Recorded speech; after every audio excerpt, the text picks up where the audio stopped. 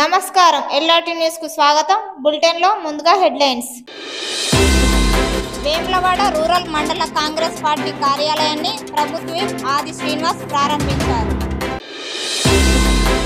Diesel petrol బంకును ప్రారంభించిన K D C C chairman Konduri Ravinder Rao తొలి ఏకాదశి సందర్భంగా రాజన్న ఆలయంలో అఖండ భజన కార్యక్రమం.